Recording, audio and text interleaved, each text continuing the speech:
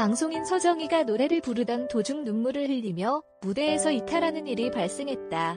서정희가 부르던 노래는 가수 이선희의 곡 인연이었다.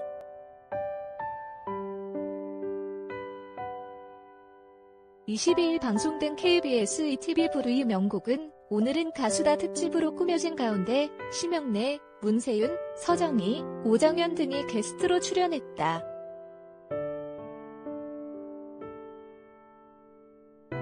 이날 서정희는 무대에 앞서 잘 못하는 노래라면서도 나는 결혼 때문에 모든 걸 포기하고 아무것도 안 했다.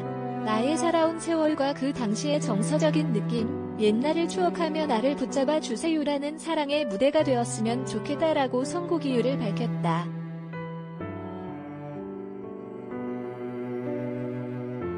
이어 나한테 음악은 마치 보디가드 같은 것이라며 나를 보호하기도 하고 부축해서 일으키기도 하고 힘들 때 아플 때 좋을 때 옆에는 항상 음악이 있었다.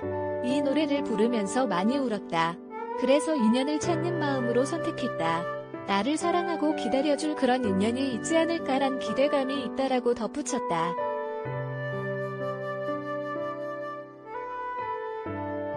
이후 서정희는 무대에 올라 노래를 시작했으나 잠시 후 갑작스레 눈물을 훔치며 무대에서 내려갔다. 그는 대기실로 이동해 한참 동안 눈물을 쏟았고 갑작스런 돌발 상황의 신동엽은 눈물이 많이 나서 감정을 추스르기 힘들어하고 있다라며 여러 일들이 주마등처럼 스쳐 지나간 게 아닐까 싶다라고 전했다.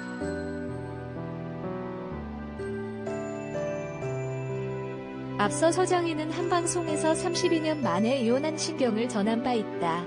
당시 서정희는 너무 어린 나이에 결혼 생활을 시작하다 보니까 부족하고 연약했다면서 이혼의 굴레에서 견딘 수많은 세월이 있었다. 오히려 나와보고 빛을 보니까 내가 정말 서야 될 곳과 정체성을 발견한 것 같다라고 고백했다.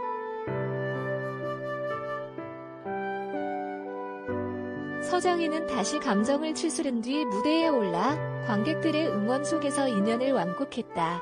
무대를 마친 서정희는 관객들을 보는데 비슷한 또래가 많아서 내 마음이 위로받는 것 같아 눈물이 났다라며 그런 감정을 조절 못하는 걸 본인한 아마추어가 맞는 것 같다라고 말했다.